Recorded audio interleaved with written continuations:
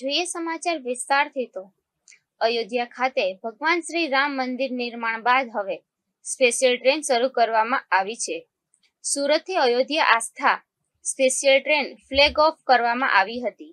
જેમાં ચૌદસો જેટલા યાત્રીઓ ભગવાન શ્રી રામના દર્શન કરવા માટે રવાના થયા.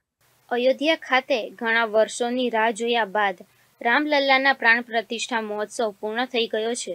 હવે ધીરે ધીરે દેશભરમાંથી લોકો ભગવાન શ્રી રામના દર્શન કરવા માટે અયોધ્યા પહોંચી રહ્યા છે. સુરતથી આજે ચૌદસો જેટલા રામ ભક્તો એક સાથે આસ્થા સ્પેશિયલ ટ્રેનમાં રવાના થયા હતા. આ ટ્રેનને કેન્દ્રીય રેલવે મંત્રી દર્શના જરદોસે લીલી ઝંડી આપી હતી. ભગવાન શ્રી રામ લલ્લાના દર્શન માટે સુરતીઓમાં અનેરો ઉત્સાહ જોવા મળી રહ્યો છે. રામ ભક્તો, કાર સેવક તથા સંઘ પરિવારની સંસ્થાઓના સહયોગથી રામ પ્રતિષ્ઠા સંસ્થાના સમન્વયથી સુરતથી પહેલી ટ્રેનથી ભક્તો રવાના થયા છે.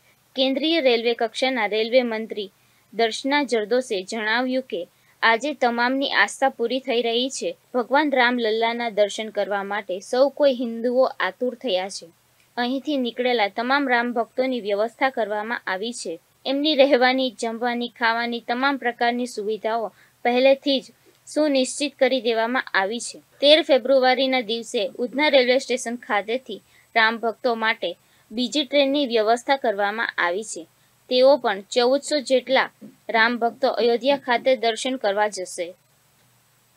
કેમેરામેન હિરેન નિમાવત સાથે હિતેશ ચિત્રોડા, ગુજરાત ન્યૂઝ સુરત.